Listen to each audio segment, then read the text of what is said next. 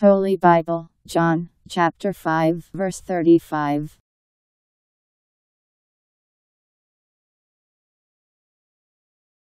He was a burning and shining light, and for a time you were ready to be happy in his light.